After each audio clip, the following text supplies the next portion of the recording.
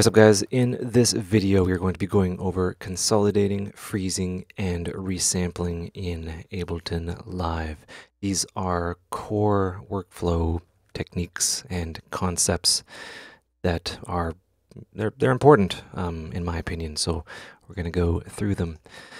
So we're going to make an idea, and I'm going to show you a number of different ways uh, on how you do the things that are in this video title.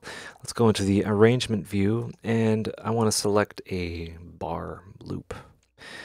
And how I do that, how you can do that just kind of starting out, uh, you know, this can be done with muscle memory um, down the line, but starting out, you want to make sure that you are actually selecting a bar loop. So what we'll do is we'll right click and we'll go fixed grid. We'll have that set to one bar. Kaboom. And we'll notice that you know the the resolution of what we can select is one bar. So we'll just do that right click and then go activate loop. So this is going to be different. I'm glad that i did this this way. If the loop section is already here in what you select and you right click you will see activate loop. If it is not right if it is not we go loop selection it will loop that selection. So context sensitive stuff um, is important to take into account. So right now, yeah, we have a bar selected. I will right click and go to adaptive grid back to narrow so I can see what's going on. And then I can see the grid divisions down here and it's all well and good. So I'm going to go uh, zoom out, select this and zoom out to uh, quarter notes, quarter bar, I should say.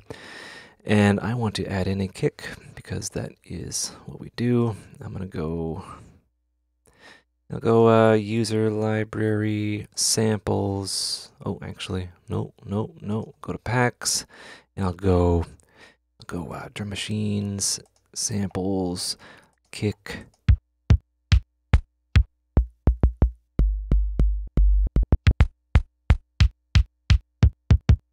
Right, we'll just put that in there.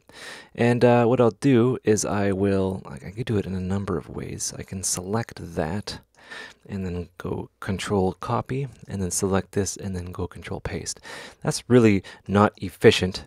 So what I'm going to do is I'm going to select the area that I want to duplicate over and uh, I can right click and I can see duplicate here, control D, right? I can either press that or hit control D, but I'll just do that. Control D, D, and I've effectively kind of duplicated that in the uh, you know the division that I would like. So I'll give that a play. So I have a four on the floor kind of beat here. Um, let's add let's add some stuff maybe. Actually, what I'm going to do is I'm going to add uh, an effect. And that will be, yeah, let's go, let's go channel EQ. I'll just drag that in there. Give it a bit of a bump there like so. And then maybe, uh, just trying to go through what we've already been through, and I'll go, I'll go uh, overdrive. I'll use a slight amount of overdrive.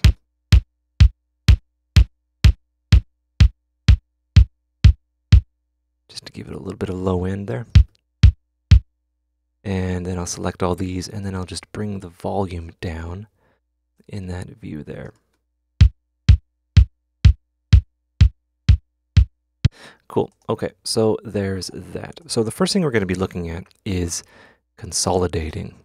So back in the day, I used to make these really long tracks. So I have this this bar loop here. I would essentially just duplicate things like crazy throughout the entire thing, and all these clips would just eat up the RAM. And each clip is its own separate entity, and it was it was a disaster. And that's how I that's how I did things, which is completely the wrong way to go about doing it. Um, your sets will be very slow and sluggish if you do it that way. We actually want to consolidate all of these into a a, uh, a loop, right? So we're going to select the loop region that we have, which we know is one bar. I'm going to right click on the top, right? It has to be on the top, and I'm going to hit consolidate. And what that does is that will render and stitch together no, it doesn't stitch together. It just renders out the audio, um, the clips into one clip, any big clip in size that you want. Right? And with that, I can easily select that clip, hit loop, and then I can easily loop that forever and ever. Amen.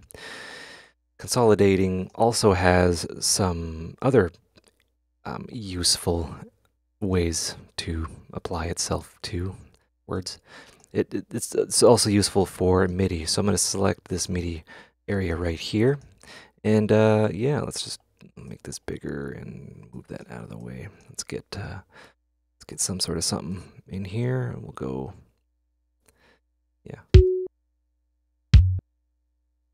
We'll go D, something like that. And what I'll do is I'll actually loop that. I just put in wavetable. We covered that in the previous video. And uh, I'm not even going to bring the MIDI down. I can just bring the semitone-ish things down. And then bring that over there. And get the envelope to that right there. Like that.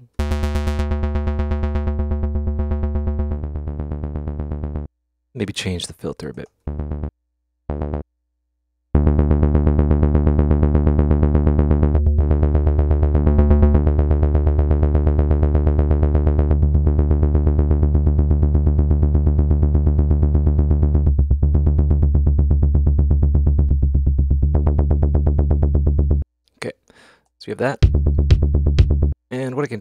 I can, yeah, I can get some velocity. Change the velocity bins.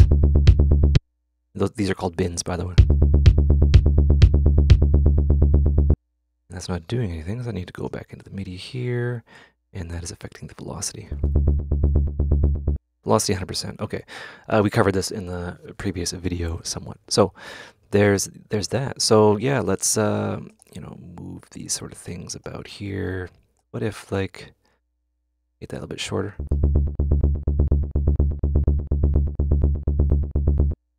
And yeah, what if we want to just duplicate that over? Well, this is similar idea, right? Consolidating consolidates clips, whether it be audio or MIDI. And, you know, say if we were working on that one little piece there and then we wanted to kind of change it, well, would we really want to change this one and muck around and stuff like that and just go through each clip? It's kind of inefficient. So what we can do is we can select, right click, and then consolidate. And now we have consolidated all of that together into one big thing, which is pretty cool. So now we can change that.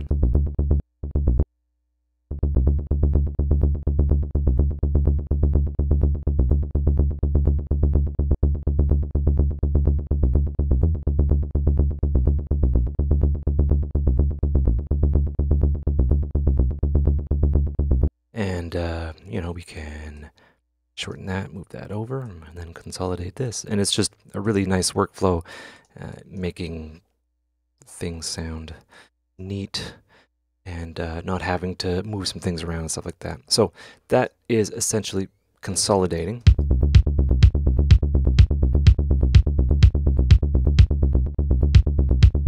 Right, renders the clip in place. So freezing. Freezing is a different thing, freezing will render everything post effects, right? So we have post effects and then pre effects, right? So when we consolidate, we're just rendering the clip. We're not actually changing these, uh, these, uh, we're not actually committing the effects here to that audio file. If we want to do that, we right click and then go freeze, right? And what this does is this will kind of render it and then kind of freeze the track in place so it, you don't have any overhead, processing overhead. Right? And if you want to kind of commit this, like in Photoshop, we can flatten and that effectively committed the effect um, and the EQ to that file.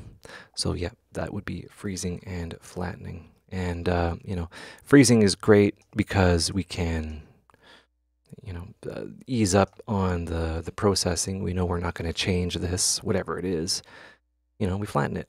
and, or we sorry we freeze it, and then after, you know, if we want to edit, we can unfreeze and then go in and change things if we wish. Freezing with MIDI does a similar thing. Right click and then we'll freeze. And that will freeze the track. still there, but we can see that it is frozen and uh, we don't have access to anything like that because it's actually an audio file. But if we want to have exposure to that audio file, and kind of commit everything and just kind of save that track. We flatten, and then there is that. We don't have access to it anymore. It's essentially gone. And now we have just the audio of the uh, the wavetable. And this is really cool because then you can essentially sample yourself and all of that. Shouldn't necessarily call it that, but you get the idea. It's just a, great way of um, great way of uh, committing things and then moving on, and then you can. It's just it's a it's a good way to go about doing things. It's like yeah, it's like committing the brush to the canvas, and then there you go. So that is consolidating, um, freezing, freezing, consolidating, freezing, and flattening. Next up is resampling. This is a different thing, and now we're getting into the routing. So what I want to do is I actually want to group these together. These want to be in a group. And what we can do is we can kind of call this something. Um, uh, kick bass, not kick B ass, kick bass. And we'll just kind of hide that. And no, actually, we'll leave that open so we can see what's going on. I'm going to create a new audio track. And I want to record or resample this recording within Ableton Live, not an outside thing like a microphone or anything like that. It's from within Ableton Live. So if you don't see this, you have the I.O. button down here, and we'll see uh, external in, and you know we're hearing my uh, microphone.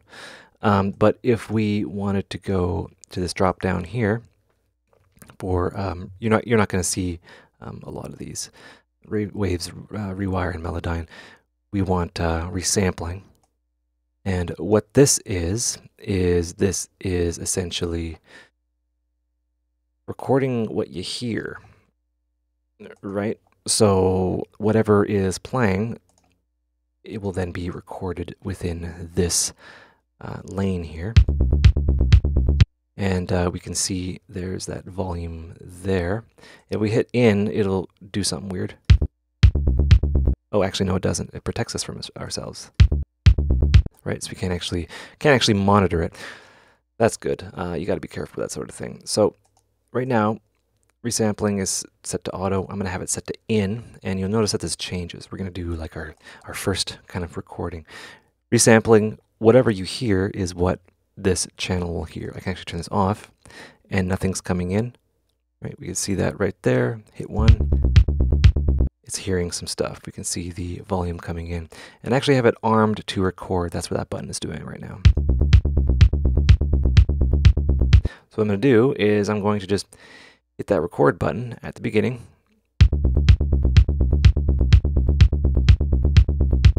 Right? And wow, we recorded something. And if we hit solo, we can't actually hear it.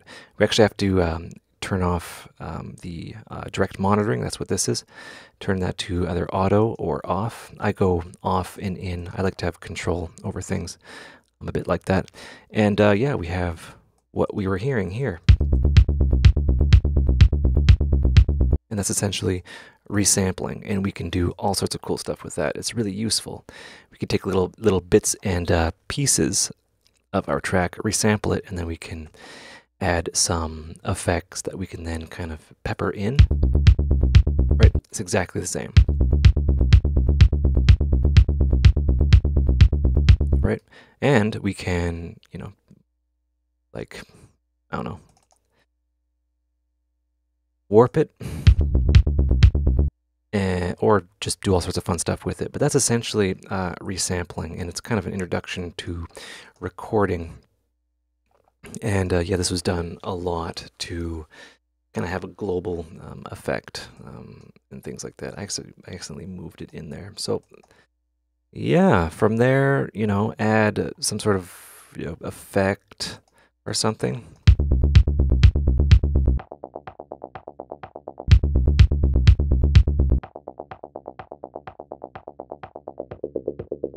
You can switch between these.